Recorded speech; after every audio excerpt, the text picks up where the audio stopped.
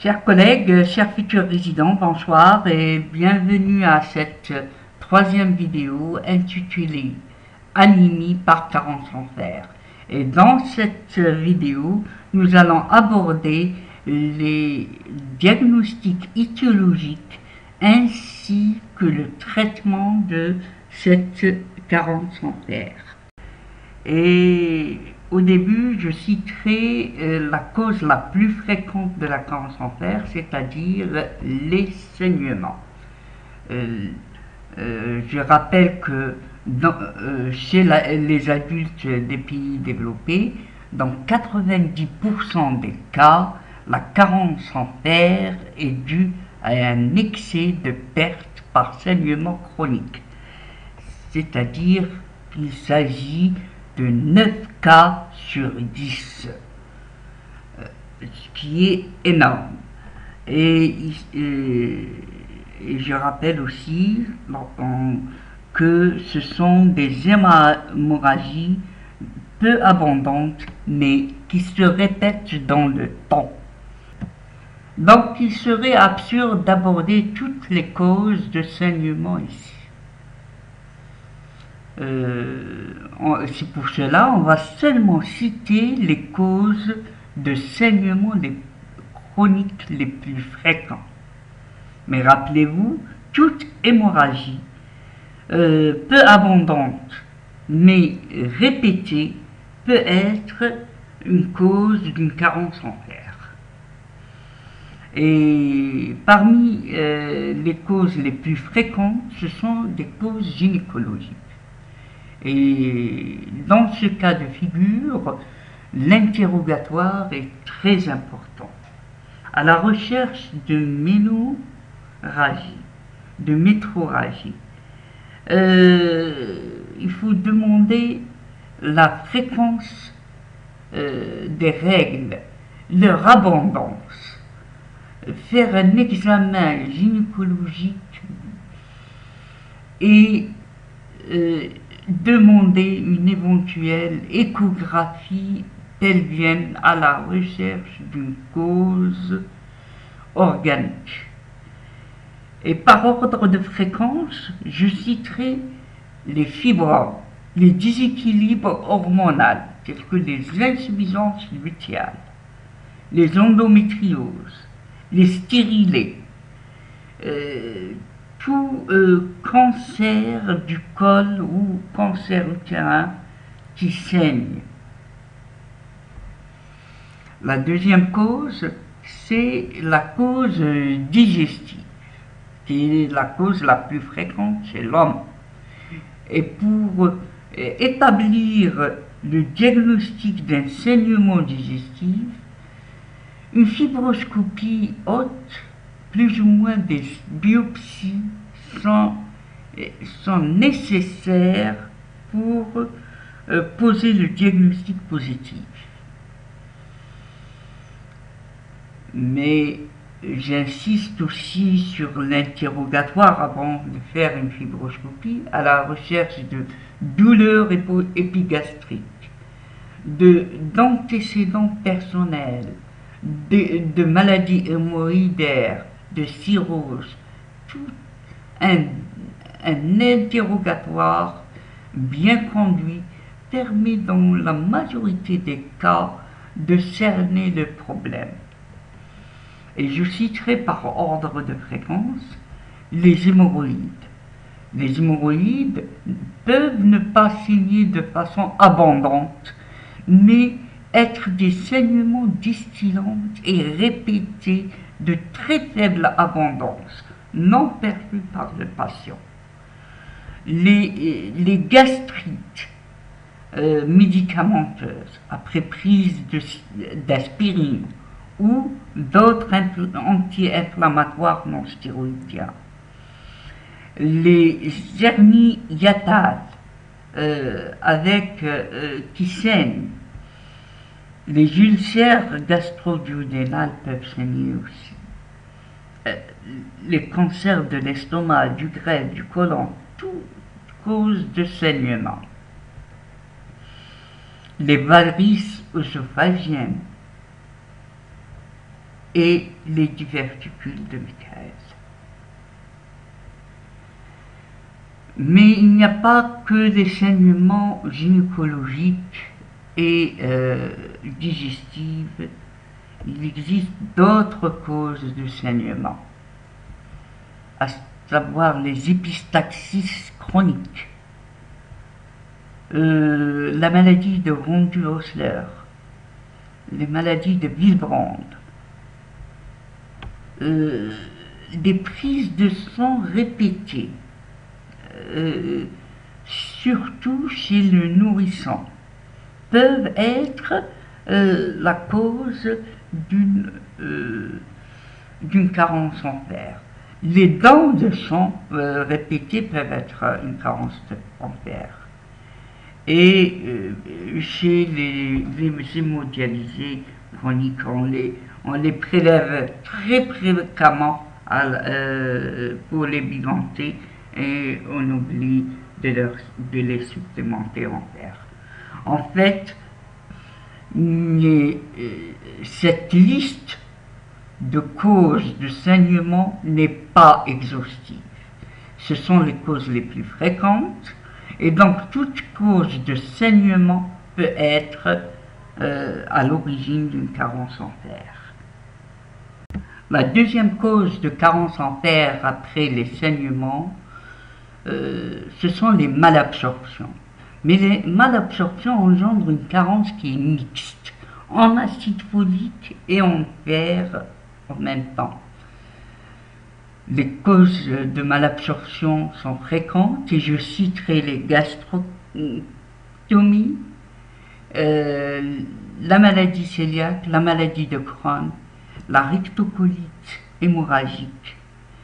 Euh, toutes ces causes peuvent être euh, à l'origine d'une malabsorption.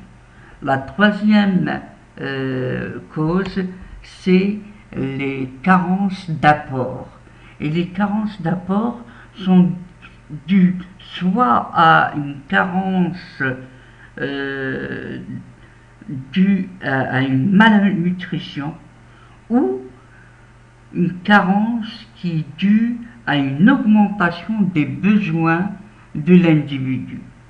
La première est retrouvée chez les vieillards euh, qui ne mangent pas, euh, les populations qui sont sous-alimentées, euh, avec un niveau socio-économique qui est bas, les anorexies mentales, les, malades en, comateux en réanimation.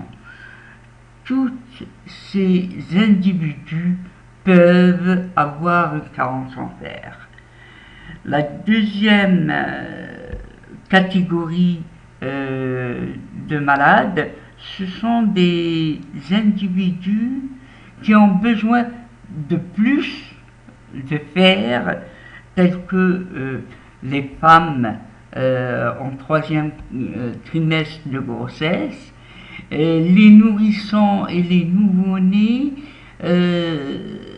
dû à la croissance accrue, dû à l'augmentation des besoins lors de la croissance et aussi, euh, les nourrissons et les nouveau-nés peuvent être nourris avec euh, euh, un, un, lait farineux qui est très pauvre en fer et chélateur de fer.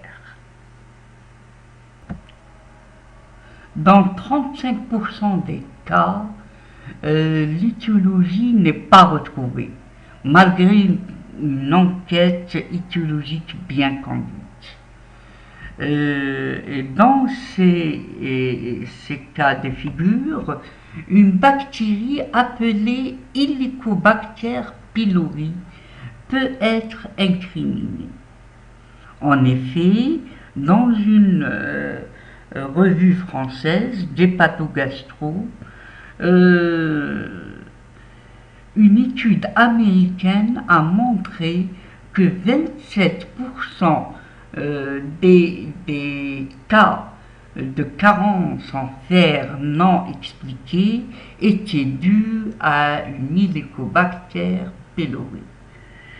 Et le phénomène de carence est dû soit à une euh, euh, hémorragie occulte euh, engendrée par les bactéries. Cette bactérie peut engendrer une malabsorption en fer ou elle peut aussi consommer le fer ingéré par le malade. Et donc, euh, l'hélicobactère peut consommer le fer euh, contenu dans le bol alimentaire. Et l'éradication de cette hélicobactère pylori entraîne une euh, augmentation de la pyritinémie et une disparition euh, de la carence en fer. Enfin, on est arrivé au chapitre traitement.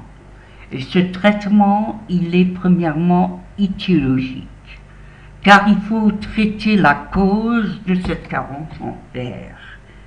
Deuxièmement, il est symptomatique. le traitement symptomatique vise à corriger l'anémie et à euh, recharger les réserves en fer. Et troisièmement, il est préventif. Il faut supplémenter les euh, populations euh, sous-alimentées. il faut supplémenter les femmes enceintes au troisième trimestre, etc. Et le traitement étiologique est toujours indispensable, car euh, il, permet d'obtenir euh, la reconstitution complète des réserves en fer et éviter la récidive euh, de l'anémie féribrique. Alors il faut traiter euh, médicalement les ménorragies fonctionnelles, par exemple. Il faut traiter médicalement les lésions muqueuses responsables d'hémorragie. Je rappelle que le traitement symptomatique a pour but de corriger l'anémie et de reconstituer les réserves en fer. Mais les, euh, les transfusions de culoglobulaires sont inutiles, car cette anémie s'installe très progressivement et donc elle est bien tolérée à des chiffres très bas en hémoglobine. Rappelez-vous, il ne faut pas transfuser sur des chiffres mais sur des signes d'intolérance de cette anémie. Mais néanmoins, chez les patients euh, ayant euh, une ischémie myocardique, une insuffisance coronarienne, une insuffisance euh, cardiaque et les sujets âgés, il vaudrait mieux les transfuser d'emblée afin d'éviter les complications cardiovasculaires. Alors que le traitement euh, substitutif en fer par voie orale devrait être la règle. Je ne vais pas vous citer euh, toutes les préparations en fer commercialisées, mais je vous mets ce tableau qui a été euh, publié dans la revue médicale suisse en 2009 et, euh, et qui résume les principales préparations de fer oral euh, utilisées en thérapeutique. Je dirais seulement que le fer trivalent est moins absorbé, alors, mais avec moins d'effets secondaires alors que le fer euh, ferreux, trivalent, euh, est beaucoup plus absorbé, mais avec beaucoup plus d'effets secondaires. Si on prend par exemple le fémarate ferreux, euh, qui est le fumafère, euh, le nom commercial fumafère, est une molécule très utilisée en pratique courante. La posologie est de 3 à 5 mg par kilo par jour de fer métal fractionné au milieu des repas plusieurs fois par jour pendant au moins 3 mois. Mais cette posologie n'est indiquée que si la cause de cette anémie est bien identifiée et sans malabsorption. Car s'il y a malabsorption, il faut augmenter la dose de fer. Et, donc on donnera euh, quatre comprimés euh, de, de fumafère un adulte ou un grand enfant par jour pendant au moins trois mois, ou euh, encore chez le petit enfant, on donnera seulement deux comprimés par jour, ça suffit, et le nourrisson euh, sous forme de sirop à, raison de 3 mg par kilo par jour, et chez les prématurés, euh, une posologie de 2 mg par kilo par jour. Il faut, euh, rappeler et bien euh, décrire les effets secondaires aux patients, à savoir les effets abdominaux à type de nausée, douleur abdominale, constipation ou diarrhée, intermittence entre constipation et diarrhée, et ces effets secondaires sont moins fréquents si les prises se font au cours des repas. malgré que les aliments diminuent l'absorption euh, du fer. Euh, il faut prévenir le patient de la coloration noirâtre des selles. Une autre forme de supplémentation est la forme injectable.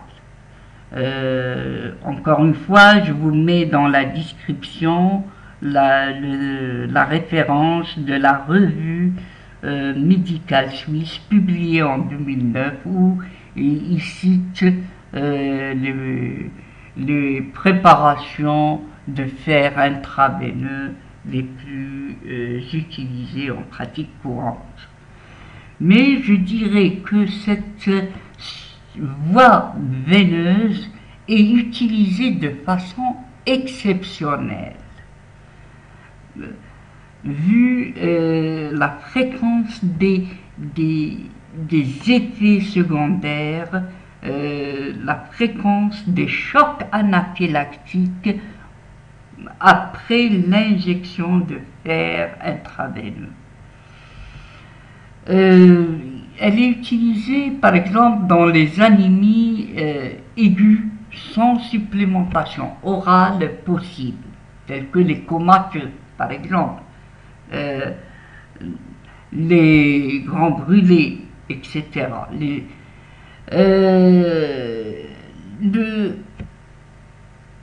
plus fréquemment en post-opératoire immédiat, elle utilisée mais il existe euh, d'autres contextes, tels que euh, les malabsorptions sévères dont le traitement oral euh, n'a pas donné de les troubles psychiatriques importants, les cas de grande intolérance de fer, par, par voie orale.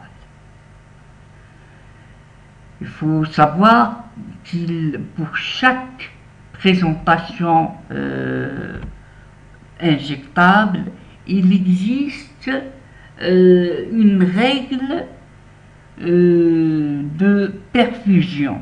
Et cette règle est à viser de calculer la quantité totale de fer à remplacer, à injecter, et qui est égal au poids du malade en kilogrammes fois 2,4 fois l'hémoglobine cible moins euh, l'hémoglobine actuelle du patient. Après euh, le traitement en fer euh, injectable du fer, on passe à la surveillance du traitement. Et on l'a déjà décrit euh, l'évolution sous traitement est marquée par une crise réticulocytaire, c'est-à-dire une augmentation brutale euh, du taux de réticulocytes au bout d'une à deux semaines euh, de traitement.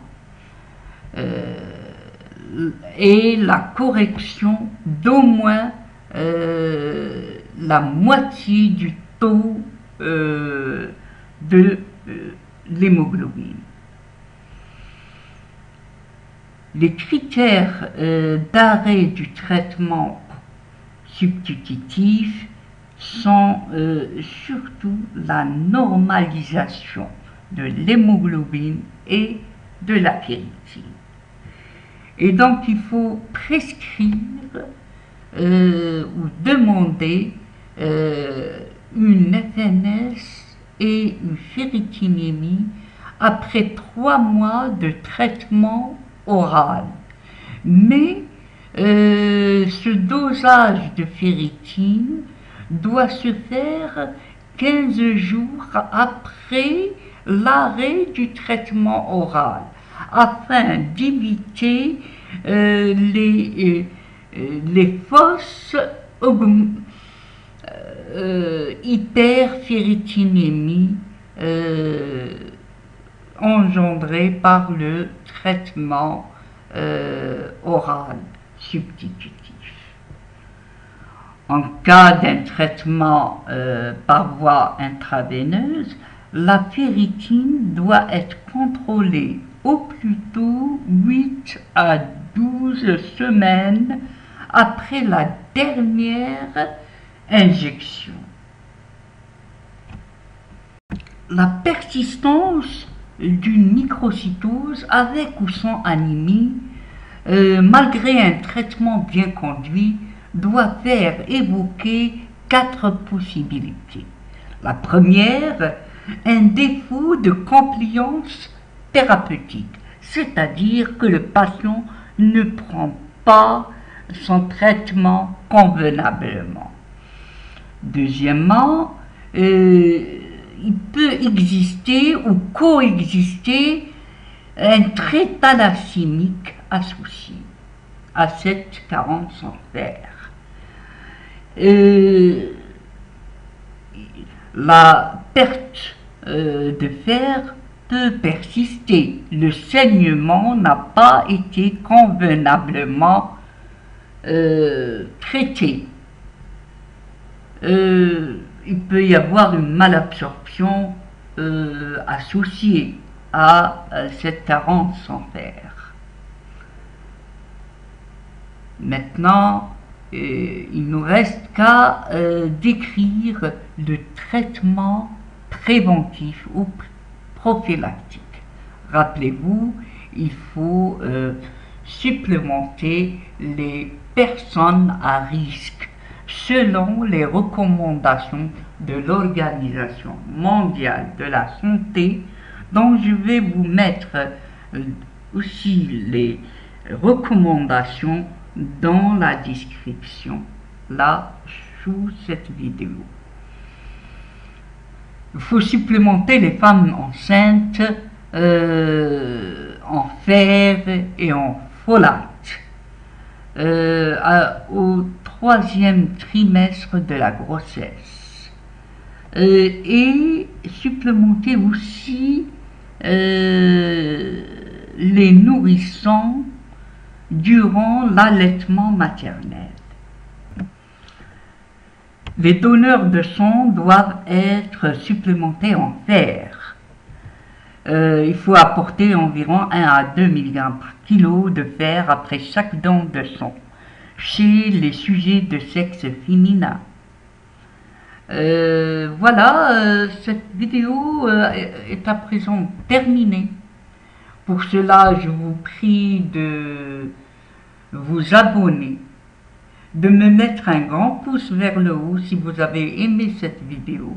Sinon, tant pis, mettez-moi un petit pouce vers le bas. Euh, et n'oubliez pas de partager, partager, partager partout sur Twitter, Facebook, etc. etc. Merci euh, pour votre euh, attention.